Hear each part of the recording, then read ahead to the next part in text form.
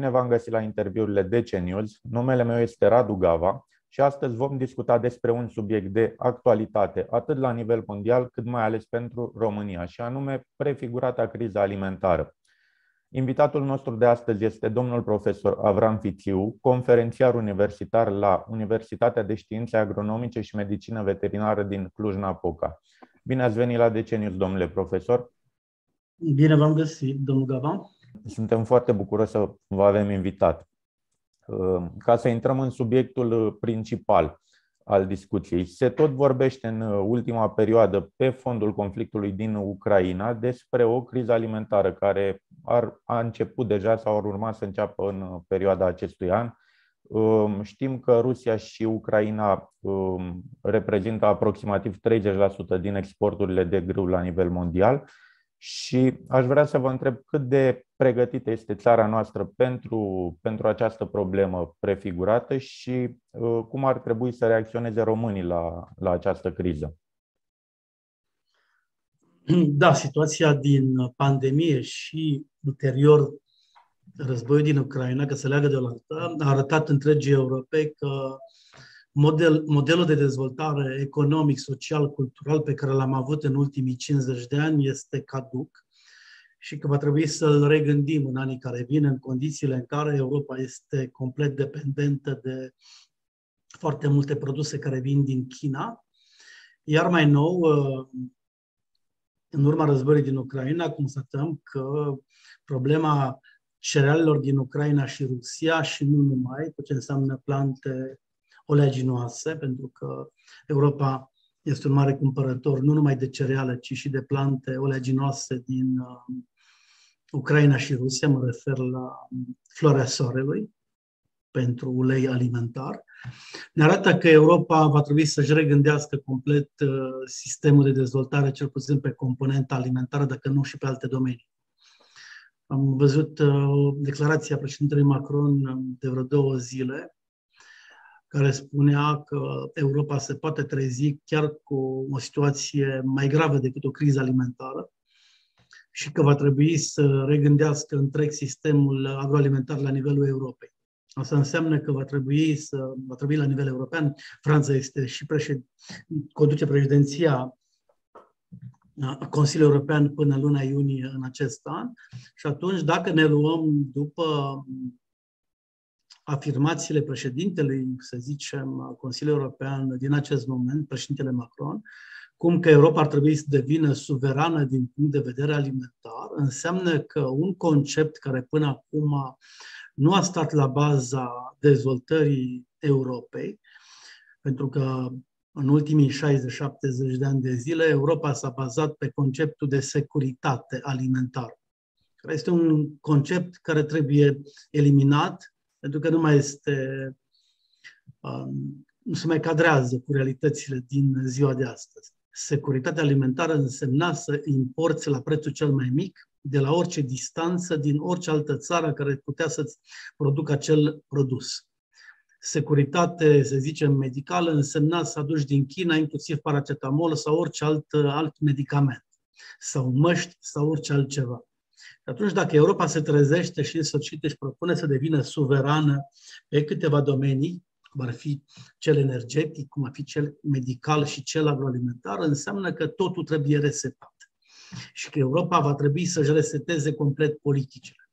A început de câteva săptămâni de zile, în urma războiului din Ucraina, să-și reseteze politica energetică. Foarte bine. Acum deja se pune problema din punct de vedere agroalimentar. Ce este de făcut?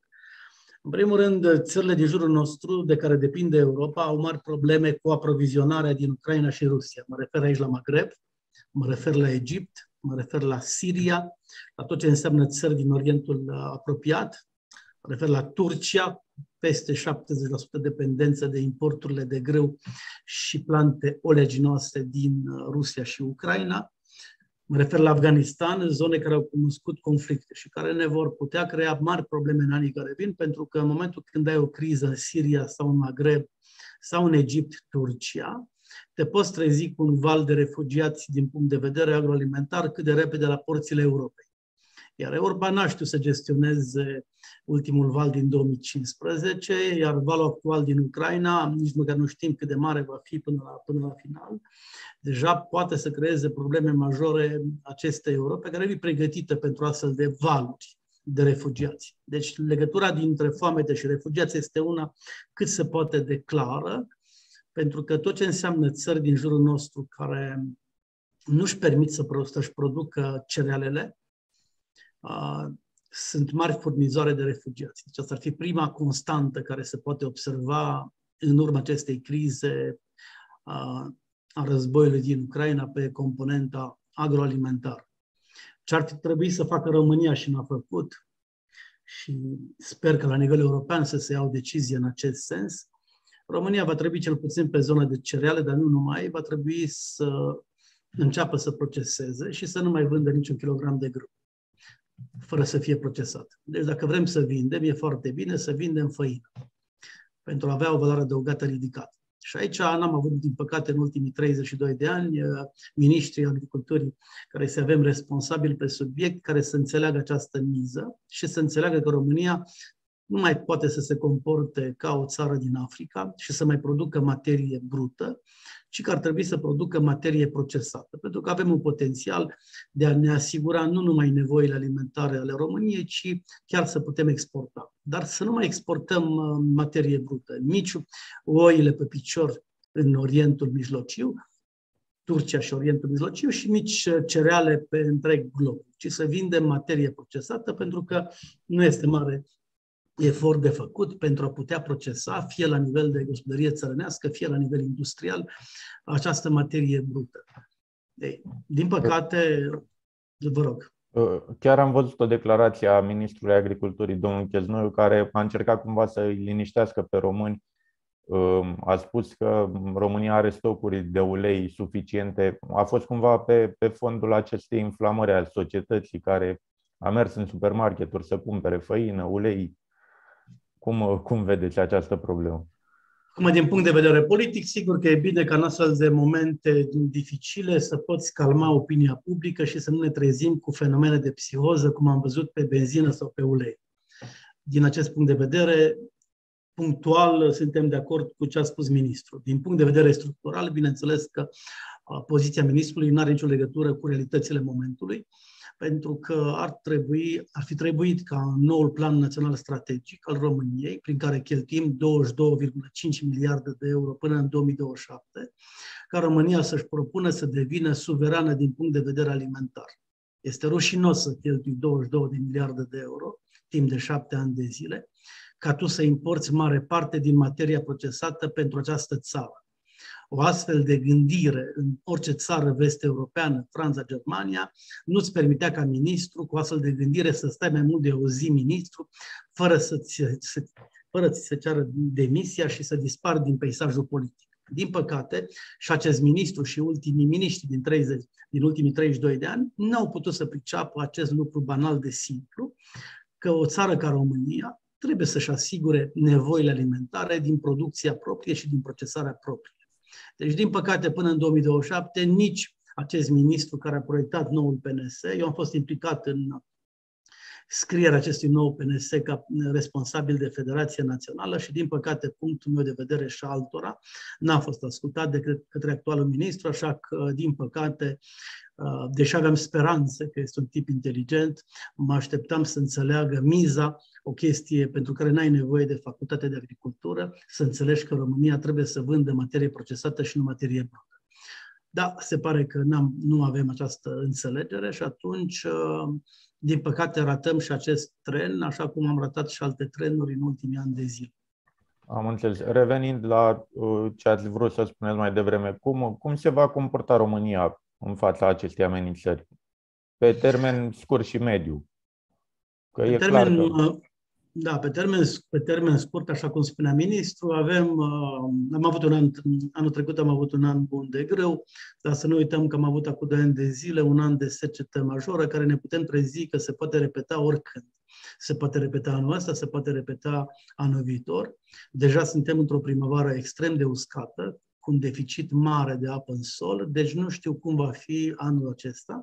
Și atunci, în orice alt moment, anul ăsta sau anii viitori, ne putem trezi cu un fenomen de secetă uh, asemănător cu cel din 2020, în care în Bărăgan pământul a fost crăpat și ca atare cultura de floarea soarelui, de porumb și de grâu a fost complet compromisă sau aproape complet compromisă.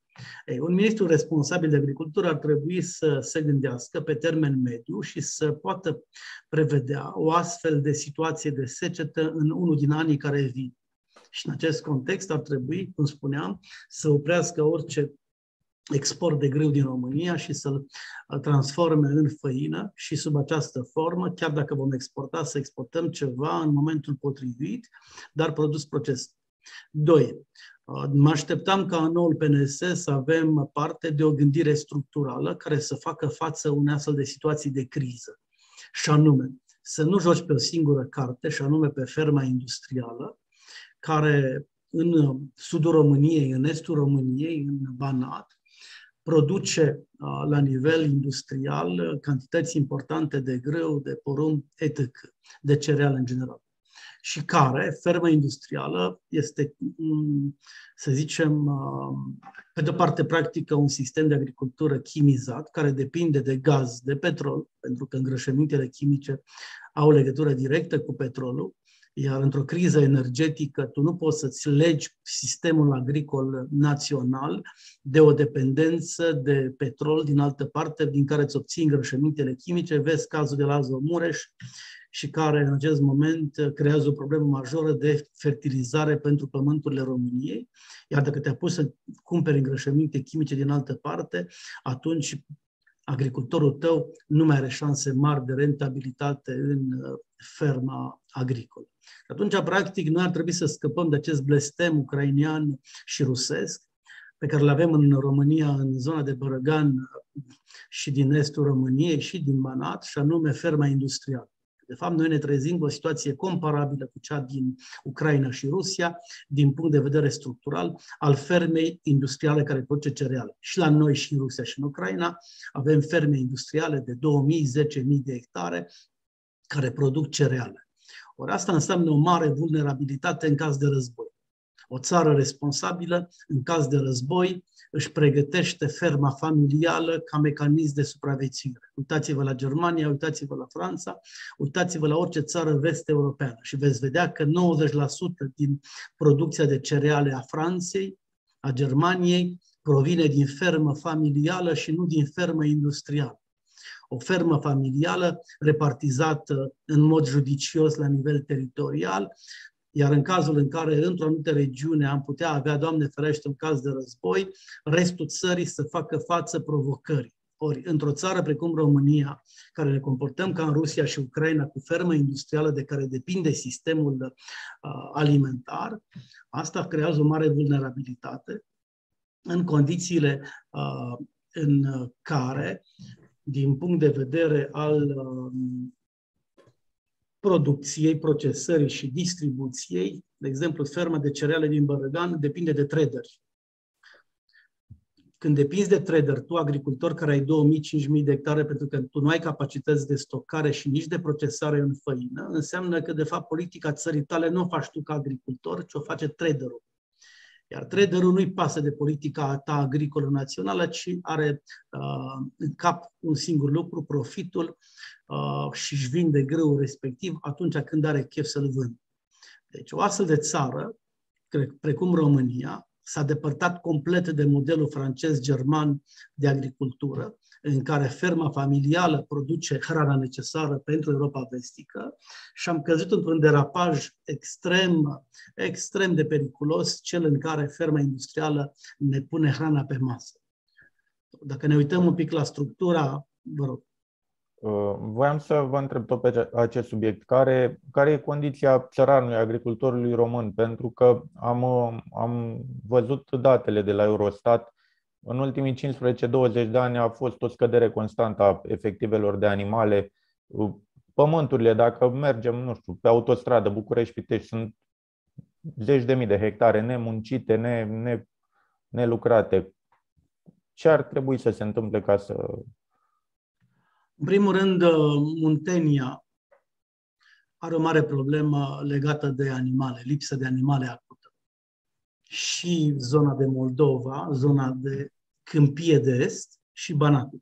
Deci tot ce înseamnă mare bazin cerealier al României au o mare problemă de lipsă de animale. Ori animalul este forma cea mai inteligentă prin care poți transforma și eficientiza o activitate agricolă atunci când, în loc să exporți grâul, să-l transformi prin intermediul cărnii într-un produs vandabil pe piață, al laptelui, tot ce înseamnă produs animalier. Din păcate, aceste zone de câmpie ale României n-au animale. Dacă nu ai animale, n-ai materie organică în sol. Dacă nu ai materie organică în sol, înseamnă că în Bărăgan, în ultimii, următorii 20 de ani de zile, ne vom trezi cu o zonă aridă ca în sudul Spaniei sau în sudul Italiei. Pentru că acolo unde n-ai materie organică în sol, n-ai buretele necesare care să poată menține apa în sol. Deci, deci observați legătură. Acel fenomen de deșertificare, unii spun că n-ar exista, dar din sudul României este cât se poate de real uitați-vă în 2020. Deci eu am fost în 2020, mă uitat, am, am, eram în minister și am mers în Bărăgan și am mers până în Constanța. Am văzut în Constanța o agricultoare, nu o să-i dau numele astăzi aici, care în deznădejde s-a apucat să irige grâul cu o remorcă Uh, de RCU de vreo 4.000-5.000 de litri și o remorcă din aia ca la pompieri și mergea și ținea furtună respectiv un angajat de-al ei ca să irige 60 de hectare de grâu, pentru că rest în Dobrogea, în anul 2020, porumbul era la 2-3 metri unul de altul, un jumătate de metru uh, porumbul, adică era o bătaie de joc în condițiile în care Dobrogea și Bărăgan au fost extrem de afectate. Următorii 20 de ani de zile, dacă nu aducem perdele forestiere în sudul României, dacă nu aducem sisteme agroforestiere în sudul României, dacă nu aducem animale în sudul României, Bărăganul va arăta așa cum arată astăzi sudul Spaniei, este doar o poveste de timp de 20 de ani de zile. Așa că cel mai mare potențial agricol al României în 20 de ani este istorie. Dacă nu avem o politică responsabilă la București, la Ministerul Agriculturii și n-am văzut până acum, din păcate, o astfel de politică uh, structurală. Adică n-am văzut decizii majore pe subiectul acesta, deși ne-am străduit cât am fost pe acolo să mai influențăm cât am putut o astfel de gândire. Dar este, este și o cumva o concurență neloială. Nu știu, în supermarketuri kilogramul de carne mm, din import, din import vine mult mai, mult mai ieftin decât se vinde la noi și cumva agricultorul român nu are nici, nici oportunitatea să-și vândă, să-și vândă produsele. E adevărat, numai că supermarketul este doar o greșeală a istoriei care în 10 ani de zile va fi corectată de către noile tendințe din domeniul tehnologic.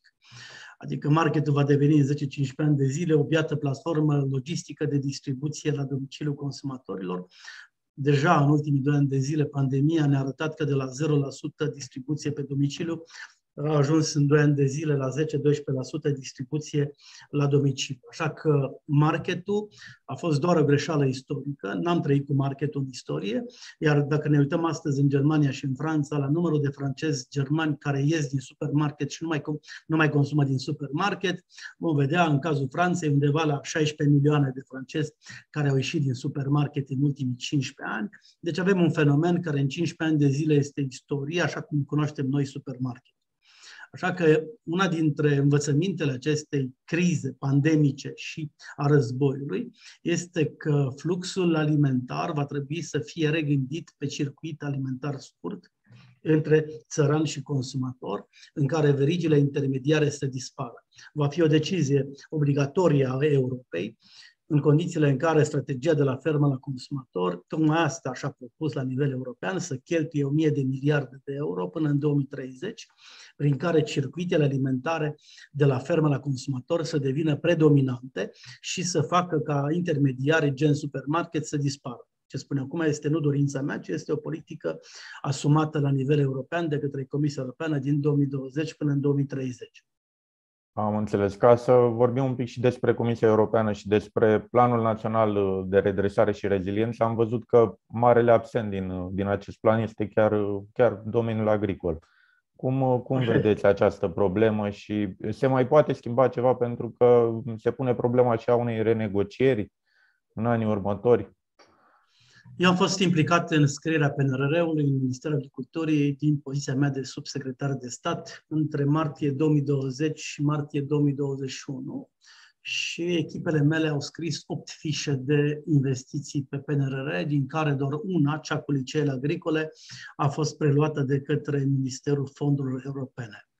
Din păcate, două fișe de investiții majore pe care Ministerul le-a creat, și anume cea legată de gestiunea apei, tocmai subiectul Bărăgan, o fișă de investiții de 6,5 miliarde de euro, pentru care au muncit vreo 150 de oameni din minister șase luni de zile, n-a fost luată în calcul de către Ministrul Fondurilor Europene Ghinea la acea perioadă, considerând că România nu are nevoie de rezolvat problema irigațiilor din România și a gestiunii apei. Cei mai mari ecologi ai României, din păcate, mă rog, o ecologie roșie, bineînțeles, știți că acest tip de ecologie uh, se aseamănă cu principiul uh, pepenelui galben, pepen, pardon, pepenului verde, adică verde pe din afară și roșu pe dinăuntru. O astfel de gândire neomarxistă nu ne-a permis Ministerului Agriculturii să putem rezolva pentru totdeauna problema apei din Bărăgan și din alte zone ale României, în primul rând din Bărăgan. Și aici este marea dezamăgire pe care am avut-o eu cel puțin când am fost în minister, chiar dacă n-am fost eu care m-am ocupat de această fișă, ci colegii mei, ceilalți secretari de stat, că România nu n-a reușit să rezolve o problemă nerezolvată de 32 de ani, și anume problema apei din Bărăgan. Problema gestiunii apei care poate fi rezolvată fie prin irigație, fie prin alte 30-50 de metode de gestiune a apei mai inteligente decât irigația. Deci, din păcate, în, acest, în acel moment, n-am avut parte de un guvern responsabil care să meargă, care să înțeleagă în primul rând el, și în primul rând nu l-am avut pe Ghina, un om responsabil, care să înțeleagă nevoile Bărăganului din România și a României și să rezolvăm problema apei. Și atunci uh, ne trezi, ne-am trezit cu un PNRR în care agricultura practic este inexistentă, mai puțin o fișă pe care colegii mei din echipele mele au creat-o cea cu liceele agricole, prin care să putem uh, profesionaliza aceste licee agricole ca să producă agricultori și nu absolvenți de licee agricole care apoi merg și muncesc ca angajați. Și uh, referitor la aceste agric- uh, licee agricole, uh, cumva o să se urmărească evoluția respectivilor uh, care le, care le termină și vor fi încurajați pe viitor sau după ce deci, vor lua diploma vor fi lăsați și ce conceptul, ce în care, conceptul în care noi am scris fișa este următorul. Am mers pe un model european din, din Europa de Vest și anume pe un învățământ dual în care în fiecare, în jurul fiecărui liceu agricol din România să avem o rețea de 20-50 de ferme și unități de procesare la nivel familial, în care elevii din liceu agricol să poată să învețe cum să devii un țăran um, când termin liceul respectiv sau școala profesională agricolă, adică șef de exploatație agricolă, prin care să-ți poți prelua exploatația lui tata și a lui mama și să o rentabilizezi. Și atunci, pe acest model de agricultură, liceul nu mai trebuie să producă absolvenți care vor fi angajați undeva, ci trebuie să producă stăpâni, adică oameni care vor prelua exploatația părinților lor, adică ferma, gospodăria părinților lor și vor putea să rentabilizeze această gospodărie pentru că liceul își schimbă complet paradigma, nu mai scoate angajați, ci scoate stăpâni, așa cum se întâmplă în orice școală franceză, germană, austriacă. Am înțeles. Uh, tot pe acest subiect, pe ce se pot baza antreprenorii români din uh, domeniul agricol și care ar fi nișele de care ar trebui să profite, nu știu, în următoarea perioadă? Pentru că e clar că se, se va pune cumva accent pe calitate. Da. În primul rând, uh, conceptul de antreprenor este foarte discutabil. Este un concept mai nou și care nu este asimilat de către poporul român foarte ușor. Noi trebuie să vorbim, să ne referim la termenii care sunt uzuali în toată Europa vestică, și anume de țăran sau de fermier. Țăranul este proprietarul de pământ, în Franța se numește peizan, iar arendașul, adică cel care nu are pământ și merge să ia pământ în arendă, se numește fermier. Noi, din păcate, am avut un sport național în ultimii 10-15 ani de zile de a reboteza țăranul român din stăpân în slugă și anume în fermier. Și atunci am încurajat o agricultură în cadrul legal în care dispare noțiunea de țăran, adică de stăpân, ca, probabil ca să cineva, fermierul, să-i poată lua pământ. Și atunci va trebui să ne, să ne reîntoarcem la valorile de bază semantice, aceea de țăran. Pentru că țăranul german care dă mâncare poporului german astăzi nu este fermier, adică nu e arendaș, ci este țăran, îi spune Bauer. Fermierul este, cum spuneau, a doua categorie de agricultori, cei care nu dețin pământ. Și atunci, haideți să-i dăm cezarului ceea cezarului și să nu transformăm o țară de stăpâni într-o țară de slugi, așa cum încearcă unii, ci să rămânem la semantica aferentă și la tot elementul din spate, și anume proprietatea care stă la baza țăranului român. Ei, ce spuneați mai înainte, așa este. Din punct de vedere al tipului de produs al, agricol, România va trebui să înțeleagă un lucru foarte simplu. În anii care vin, un țăran român cu o fermă medie de 3, 10, 15, 20 de hectare, va trebui să producă în primul rând un produs procesat. Este prima regulă. A doua regulă este că va trebui să producă un produs de nișă sau de calitate, cum mi se spune, adică produse din scheme de calitate. Produs din schemă de calitate înseamnă fie produs ecologic, fie produs montan, cu certificare montană, fie produs tradițional, fie produs local, fie produs DOP, IGP, TSG, etc. Cam acestea sunt categoriile de produse de calitate din ceea ce se numesc scheme de calitate potrivit unui regulament european 1151. Ei, ești condamnat, de fapt, tu ca țăran român, dacă vrei să supraviețuiești, să nu mai vinzi materie brută, ci să vinzi materie procesată și în special materie procesată din scheme de calitate. Dacă vom continua ca în România agricultorul să vândă porcul pe picior, vițelul pe picior, să vindem oaia la turci, să vindem grâul peste hotare, înseamnă că suntem condamnați la un statut de țară africană care vinde doar materie brută, țară africană fără, niciun, fără nicio abordare peorativă. Mă refer la faptul că uh, ei sunt campionii lumii la vânzare de materie brută, în loc să fie campioni la vânzare de materie procesată, fiind cel mai bogat continent din lume. Iar România se comportă ca o țară din Africa, în condițiile în care suntem printre cele mai bogate țări din punct de vedere agricol la nivel european, iar noi ne comportăm ca o țară din lumea treia care vinde materie brută, indiferent că vorbim de lemn pe picior, vițel, porc sau cereal. Până nu o să avem o clasă responsabilă politic și sper eu ca războiul din Ucraina să ne trezească și pandemia să ne trezească, să ne revenim la un comportament mai normal pe care strămoșii noștri l-au avut. Strămoșii noștri au produs, în primul rând, au avut în România oaie. În Bărăgan, acum 100 de ani, era plin de oi. Dacă ai avut oaie în bărăgan, înseamnă că ai avut fertilizant, ai avut materie organică, ai avut apă. De trebuie să ne întoarcem uh, din punct de vedere agricol la ce am cunoscut noi acum câteva secole și anume în primul rând la oaie, pentru că oaia este specia pe care noi am crescut-o în ultimii 2000 de ani și nu vaca. Vaca este un animal de câmpie uh, și nu este un animal de zonă colinară sau de zonă montană, nu are caracteristicile aferente. Și atunci va trebui să ne întoarcem la animale care, în primul rând, din punct de vedere calitativ, ne dau o hrană mai, mai sănătoasă. Vă dau un exemplu. Cel mai mare cancerolog al Europei, profesorul Henry Joyo, este reputat la nivel european datorită gradului foarte mic de recidivă la cancer pe care bolnavii lui îl au în ultimii 50 de ani.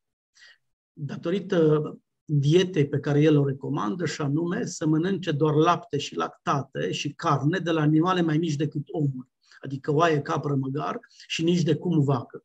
Datorită factorilor de creștere, hormonilor din uh, laptele de vacă, care pot induce o activare a celulei cancerigene, spune profesorul Henry Joyo. Și atunci, poate România ar trebui să se reîntoarcă la ce am făcut noi de 2000 de ani, și anume la oaie și capră, în așa fel încât să producem din scheme de calitate un um, produs valoros și atunci asigur că da, țăranul român ar putea să-și rentabilizeze ferma pe care o are. Dacă continuă sportul actual, este un sport păgubos și asta duce la faliment și la, din păcate, la părăsirea meseriei agricole, exact ce spuneați mai înainte, cu scăderea drastică a efectivului de animale în ultimii 30 de ani. și unde, unde ar putea găsi, nu știu, finanțare sau, sau un sprijin pentru a se putea dezvolta în această direcție? Pentru că foarte mulți agricultori țărani de care spuneți, efectiv nu știu unde să meargă ca, să, ca să se de, să-și dezvolte.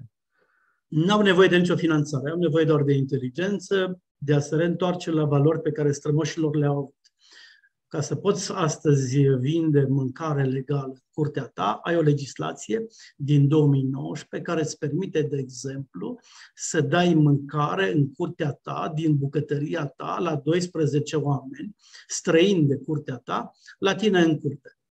Mâncare pe care o dai și copiilor tăi. Pentru asta ai nevoie doar de o aprobare de punct gastronomic local care se face în 3 săptămâni, te costă 500 de lei. Pentru asta n-ai nevoie de bani europeni. Um, și mâine mâine ai deja o formulă de lucru. Doi, în România ai 4 milioane de gospodării țărănești care au o cameră goală, două camere goale, și care astăzi, uh, camere goale, pentru că copiii lor au plecat în Spania, Italia, peste hotare. Ai nevoie de un sfert de oră, să, fără să ai nevoie de firmă, fără să ai nevoie de bani europeni, într-un sfert de oră ți-ai completat declarația unică 212 și într-un sfert de oră camera respectivă poate deveni cameră de primit oaspeți pentru orice străin care îți calcă curtea. Un sfert de oră, fără bani europeni. V-am dat doar două exemple, da? Ei, cel mai important exemplu care o să vă dau este următorul. Dacă vrem cu adevărat să facem o revoluție, dar nu avem o clasă politică capabilă să înțeleagă miza, nu știu, parcă nu mai umblă prin Europa să vadă ce fac alții. Eu sunt profesor de politică agricolă comună și, prin natura meseriei mele, predau uh, la o secție, la un master de limbă franceză, politică agricolă comună și sunt obligat să analizez comparativ uh, politica agricolă din România cu orice altă politică din cele 28 de țări europene. Deci pentru mine e foarte simplu să înțeleg uh, ce face neamțul, francezul, austriacul sau cel din altă țară mai bine decât noi sau ce facem noi mai bine decât ei. Ei, pentru asta nu este nevoie decât uh, mâine să ne imaginăm că toate firmele de food panda, în ghilimele, tot ce înseamnă firmă care duc astăzi mâncare la domiciliu bucureșteanului sau clujanului, mâine vor fi dublate cu încă 3.000-10.000 de firme de catering țărănești. Și mâine țăranul să producă mâncare caldă la comanda bucureșteanului, pentru că în primii 30-50 de kilometri de București ai putea să faci treaba asta fără probleme. Altfel vei continua sportul din pandemie. Dacă vă amintiți, în pandemie, prin martie 2020, în afară de jandarmi și firme de catering, nu mai vedeai pe nimeni prin oraș. Așa. Când a fost momentul respectiv. Doar că acele firme de catering erau firme care produceau mâncare din supermarket, deci nu era mâncare românească. Ei erau domni de la oraș care făceau treaba asta în restaurante și nu o făceau în gospodărie țărănească. Deci nu este nevoie de o mare revoluție ca mâine să iei 10.000 de țărani români care să producă 5.000-10.000 de kilograme de mâncare pe an, care să asigure necesarul corect pentru acele familii și mâine, ultimul orășan din România, să mănânce mâncare țărănească direct de la catering. Vorbesc de mâncare și nu de cartofi. Adică nu materie brută. Exact. exact. De ce cât e nevoie, de câte facultăți ai nevoie de agronomie ca să înțelegi că o astfel de realitate o vedem astăzi în toată România, mă refer la catering și că tânăra generației uh, trăiește din comenzi pe telefon și își consumă, practic, își face viața alimentară uh, la nivel de telefon. Nu e complicat să faci treaba asta într-o gospodărie țărănească. Mâine orice punct gastronomic local îl transformi în structură de catering, pentru că atâta vreme cât țăranul respectiv are dreptul să dea la 12 oameni în curtea lui mâncare din propria bucătărie, de ce n-ar mai avea dreptul să mai dea la încă 500 uh, pe baza unui sistem de trasabilitate alimentară pe care să-l poți demonstra de SV-uri. Da? Pentru asta e nevoie de voință politică, viziune și asta n-am avut de 32 de ani în țara asta. Ok. Uh, ca să vorbim despre, despre această problemă, uh, ceva ce mă intrigă foarte mult în ultima perioadă sunt comunitățile autarhice și vreau să vă întreb dacă credeți că mai pot exista acestea în secolul 21. Eu am un exemplu, îl urmăresc de ceva timp, aș zice că e chiar dus la extrem.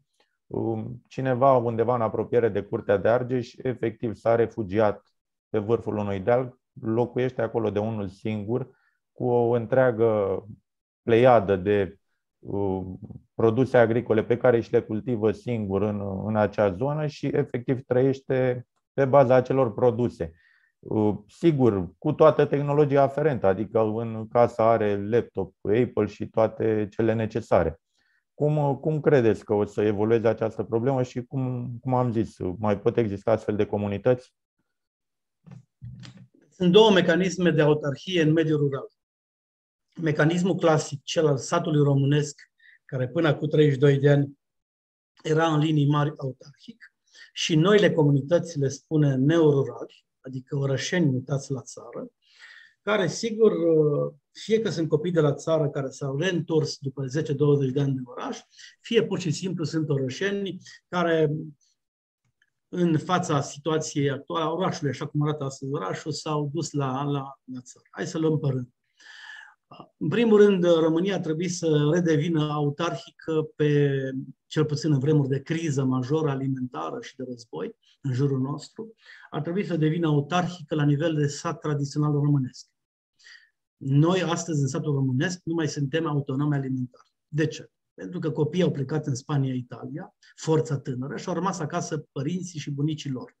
Și atunci oamenii aceștia, datorită vârstei, nu mai sunt în stare să-și asigure nici măcar nevoile lor și atunci cu o pensie de la, din sistemul comunist încă mai pot să-și permită să meargă la magazinul din zonă, din sat, ca să cumpere o mâncare super chimizată de care nu are nevoie, dar asta e situația actuală. Asta înseamnă că până nu ne reîntoarcem la un sistem de autonomie alimentară, să nu-i spunem autarhie, dar să-i spunem autonomie, autonomie alimentară în satul românesc, nu putem rezolva o mare problemă de criză alimentară pentru România, pentru că orașele știm clar că sunt dependente de mâncare care provine din exterior, dar haideți măcar să rezolvăm problema din satul românesc, ca el să devină autonom alimentar, așa cum era cândva, cu 50-70 de ani de zile.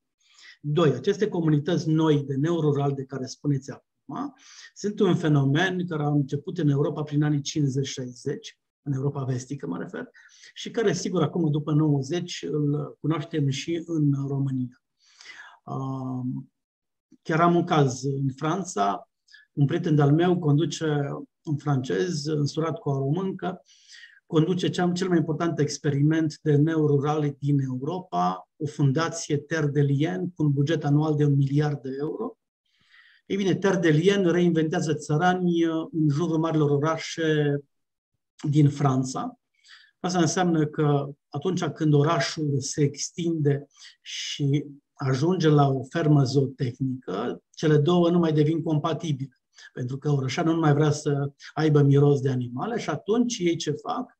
Cumpără cu un miliard de euro anual orice fermă zootehnică care, de care se apropie un cartier nou a unui mare oraș, după care din 40 de hectare câte e ferma medie franceză zootehnică, face 10-15 ferme legumicole și pomicole de 2-4 hectare, unde instalează pe un contract de concesiune tineri, țărani sau orășeni, și care pe baza unui contract de concesiune pe 49 de ani primesc o logistică de la A la Z, în care ei nu mai fac nimic decât asigură uh, respectarea caietului de sarcini și anume, unul, să furnizeze doar hrana ecologică, prima condiție pe care o impune asociația, doi, sau din scheme de calitate, doi, să distribuie direct la domiciliul consumatorilor, trei, să respecte elementele arhitecturale specifice teritoriului în ferma respectivă. Și atunci, dacă ne luăm pe acest exemplu, care e cel mai important la scara Europei, de un miliard de euro, sigur că da, dar acolo vorbim de acțiune structurată. Adică un ONG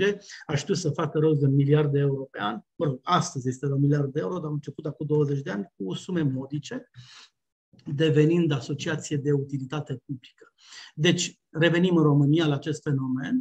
Da, dacă mă uit la Cluj, unde am date, în 2020 uh, și 2021 uh, am avut parte de un fenomen de emigrație, am putea spune, de părăsirea orașului de către clasa de mijloc clujană, IT-ști, corporatiști, uh, în masă, putem spune, și care până în 40-50 de kilometri și-au făcut o casă de vacanță, inițial speriați de pandemie, după care, văzând că tehnologia le permite să-și facă business-ul direct de pe calculator, unii dintre ei au rămas în continuare în zona respectivă, așa că în funcție de situația socioeconomică Uh, din anii care vin, război sau alte riscuri la care ne putem expune, cu siguranță că clasa de mijloc din România, cel puțin o casă de vacanță, dacă își permite, o să facă pasul din motive de siguranță a familiei. Și atunci, da, pandemia și războiul pot accelera acest fenomen neorural și în România, l-am văzut în marile orașe din România, bănesc că și Bucureștiul uh, s-a trezit cu același fenomen până pe la un 30-50 de kilometri de București. Eu am prieteni din București, profesori universitari care s-au dus în zona Curții de Argeș și au devenit, încearcă să devină sau să devină autonomi alimentari, ei care sunt profesori în București. Și atunci, da, Va deveni, un, va deveni un lux viața la țară în următorii ani? Lux în sensul că vom redeveni, vom redescoperi vechile valori ale omului și anume o viață în comuniune cu natura. Pentru că orașul, așa cum arată orașul astăzi, în care orașul se dezvoltă doar pe verticală în România, față de orașele vestice, care au avut o dezvoltare pe orizontală, orașul nostru nu, mai, nu este, nici măcar nu mai este comparabil cu cel francez sau german. Acolo în oraș înseamnă dezvoltare pe orizontală. Te duci în Scandinavia și când zici oraș, te duci 30 de kilometri, tot orașul este. Da? Oamenii stau la case. În România, orașul este înțeles pe verticală. Cât mai multe blocuri pe verticală, poluare. Și asta înseamnă că condițiile de viață din oraș nu mai sunt un lucru pe care să-și dorească tânăra generație. Și dacă am văzut anul trecut în Cluj, dacă să iau de exemplu Clujul care cunosc mai bine, în momentul în care pandemia ți-a trimis acasă din Cluj 80.000 de studenți și acum încercăm și facem eforturi uriașe să-i reîntoarcem la școală pentru că s-au obișnuit cu sistemul online și nu prea mai au chef mulți să se reîntoarcă în oraș, cât am ajuns ca ministrul educației să interzică online de două săptămâni de zile ca să putem să refacem școala de acum doi ani de zile. Vă dați seama ce se întâmplă la nivel de transformări în mintea tineretului, care au văzut că online cu toate, cu toate păcatele lui, pentru că aia nu-i școală, este clar. Dar uh, online-ul a fost o soluție care a resetat complet modul de gândire al studentului și al profesorului și nu știm cum va arăta școala de mâine, dar uh, E clar că orașul nu mai este ce a fost din punct de vedere al așteptării tânărului care și-ar dori să trăiască în oraș. Am înțeles. Vă propun să intrăm și în uh, ultimul uh, subiect al discuției și anume transhumanța. Am văzut uh, de curând a fost depusă cererea pentru, pentru dosarul transhumanței pentru înscrierea în Patrimoniul Mondial UNESCO. Vorbiți-ne puțin despre acest proiect. Da, eu sunt pasionat de oierit pentru că în ultimii opt ani de zile mi-am luat familia și am mers pe urmele oierilor rom, mă rog, români. Oieri plecați în secolul 12, 13, 14 din Carpați și care au ajuns fie în Balcani, fie în Carpații Păduroși din Polonia, Cehia și Slovacia. Pentru având această pasiune, Plecând de la Oierit, am ajuns cât de repede la istorie, pentru că am înțeles că oamenii au plecat acolo în urma unor avataruri istorice, împinși de turci, de tătari, mă refer aici la cei din Carpații Păduroși. Și plecând de la o astfel de pasiunea mea, când am ajuns în minister în 2020, primul dosar pe care l-am luat în serios a fost cel de transumanță și am analizat ce se întâmplă pe transumanță în, la nivel mondial și am văzut că doar trei țări au un dosar UNESCO de transumanță și anume Grecia, Austria și Italia, iar noi, care am fost campionii transumanței în ultimii o mie de ani, nu existăm din punct de vedere unui dosar UNESCO. Ceea ce m-a iritat la culme și m-am organizat. Am luat legătură cu toate celelalte state uh, membre care erau interesate de subiect și am reușit să conving Franța și Spania la nivel de Ministere de Agricultură și Ministere de Cultură, împreună cu colegii mei din minister, am reușit să-i convingem să extindem dosarul celor trei țări, Austria, Italia, Grecia, la încă șapte țări. Și atunci, în acest dosar lărgit, acum câteva zile s-a depus dosarul la UNESCO. Procedura fiind o procedură greoaie, care de regulă ia între 2 și 8 ani de zile. Primul pas l-am făcut prin septembrie 2021, când am trecut de prima etapă, și anume introducerea în uh, inventarul național la Ministerul Culturii din România al acestui dosar, este faza numărul 1, îl depui la nivel național în inventarul național de elemente de patrimoniu imaterial cultural, după care te pregătești cu dosarul UNESCO. Deci după ce am trecut prima fază, am convins aceste șapte țări din Europa, mă refer la Spania, Franța, care erau cele mai importante în ecuație, și apoi țările din Balcani. Mă refer aici la Croația, Albania, Macedonia, Slovenia, um, Bulgaria, în așa fel încât să putem uh, să depunem un dosar care să depus acum în martie. Fondul problemei uh, este următorul. Grecia nu are oieri. În Grecia, oieritul este doar a român. Deci n-au oieri greci. Ei se ocupă de, ei sunt crescători de capre, grecii. Nu sunt crescători de oi. Doar a românii în Balcan s-au ocupat de oi.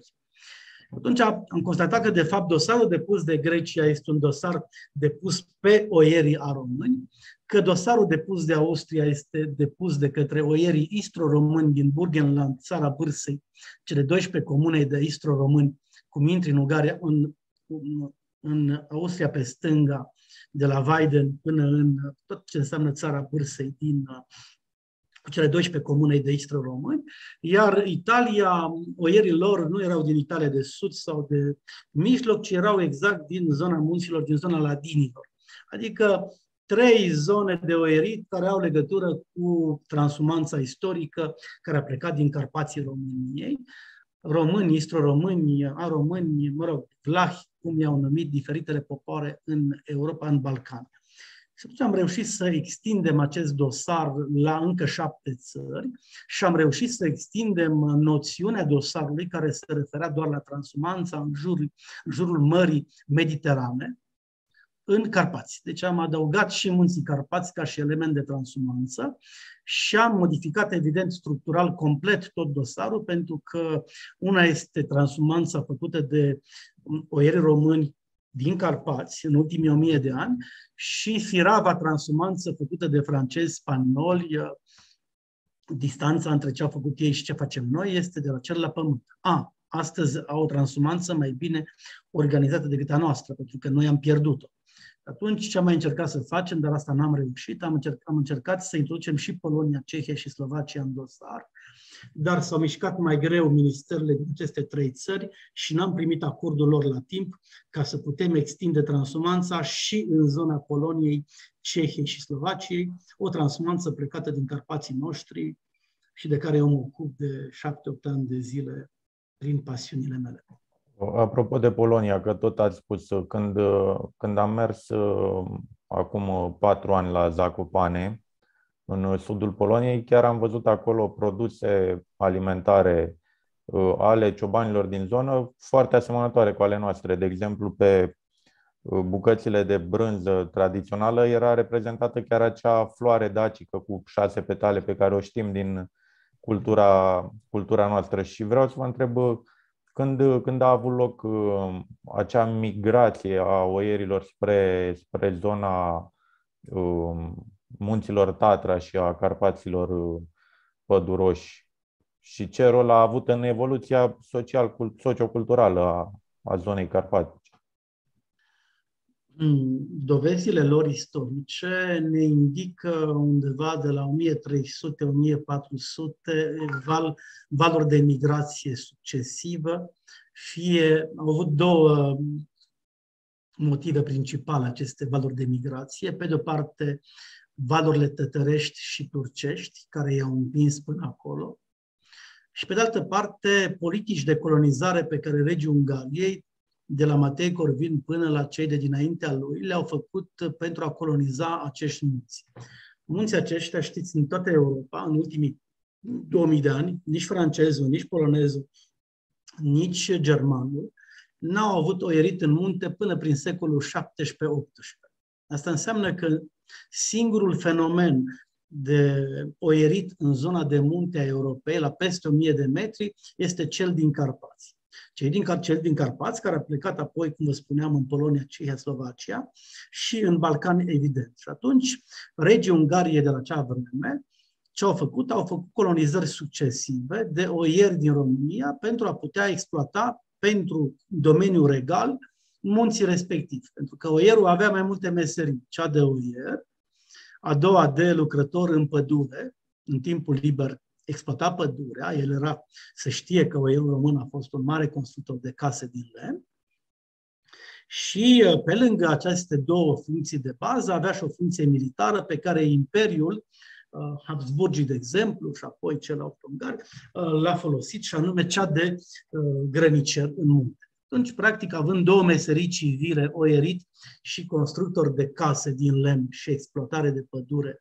plus una militară, fiind singurul neam din Europa care avea aceste caracteristici, putea să stea în munte cu lupul și cu ursul, fără să-i crape inima, acolo la 2000 de metri altitudine, ei neavând, ei fiind popoare de câmpie, polonezii sunt popor de câmpie, sunt popor care cresc vaci, nu sunt un popor de crescut oi.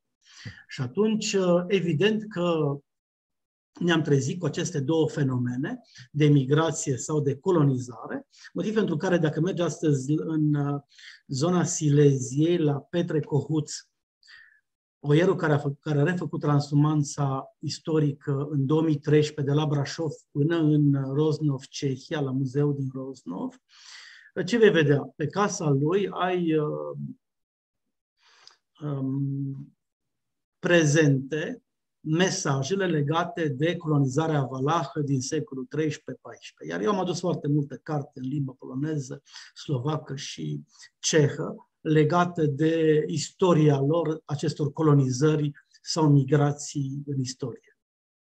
Foarte interesante aceste informații. O ultimă întrebare aș mai avea pentru dumneavoastră. Putem face din transhumanță și din ciobanul român un brand de țară pentru, pentru țara noastră? Dacă am avea inteligență, da. Aș vrea să vă spun doar mirarea pe care delegația franceză și spaniolă a avut-o când le-am pus în față o hartă creată de către Institutul Brailoiu de la București, legată de ultimii o mie de ani de trasee de transumanță din România și le-am arătat o hartă cu peste 1200 de trasee de transumanță din Carpați, fundamentată istoric până la anul 1000 ei nu puteau dovedi transumanță de, decât maxim de 100 de ani. Și acest, această hartă este piesă în dosarul UNESCO. De aceea ne-au acceptat, pentru că au, și-au dat seama, ei nu știau că în România sunt oi, nu știau că în România este transumanță, nu știau nimic de istoria noastră, ei sunt destul de ignoranți pe subiect. Și atunci cu aceste dovezi noi am reușit să le impunem România pe harta acestui dosar de transumanță. Da, dacă am avea inteligență, da, pentru că avem istoria care ne poate servi ca argument serios în materie de marketing. Ne mai trebuie un pic de organizare germană și un pic de viziune franceză ca să facem lucrurile cum trebuie. Organizarea germană în sensul să fim mai exacti în ceea ce facem și ceea ce fac francezii pe transumanță. Uitați-vă, cel mai mare traseu de transumanță se cheamă drumul la Ruto, între Vale, de, Vale Mm, oare cum spune oare, de lângă Marsilia, până în uh, Elveția și în uh, zona Piemontului italian, undeva la 800 de kilometri de transumanță. Și unde cea mai importantă rasă de oi pe care o au ei francezii în transumanță, îi spune foarte curios rasa valahă, adică oaia cu coarne de tirbușon. I-am întrebat pe francezi de ce spuneți rasă valahă și n-au știut. Și apoi am întrebat de ce pasul prin care trec oile în Piemontul italian, pe unde Napoleon a invadat Italia, la 1800 și, de ce se cheamă pasul Valah? Nici asta n-au știut să explice. Deci, uh, poate ar merita să facem un picuț de turism cultural pe urmele oierilor a români, istro-români, a români, care au ajuns în istorie cu oile până în sudul Franței cu siguranță, pentru că primări, viceprimărița din Bordeaux doamna Moga, uh, când am întrebat-o de unde a venit familia ei, au zis că din zona Trieste și atunci înțelegeți mai bine de ce bulevardul cu șase benzi din Bordeaux se cheamă Frații Moga, întâmplător pe fluviul Garon. Uh, foarte interesante aceste, aceste informații pe care ne le-ați prezentat. Noi vă mulțumim uh, mult pentru, pentru tot ceea ce ne-ați spus și vă mai așteptăm la DC News cu orice altă ocazie. Bine, mulțumesc și eu, Doamne ajută, numai bine. Vă mulțumim, Doamne ajută. În continuare, vă invităm uh, pe cei care ne-ați urmărit pe DCNU și pe DCNS TV. O zi frumoasă în continuare.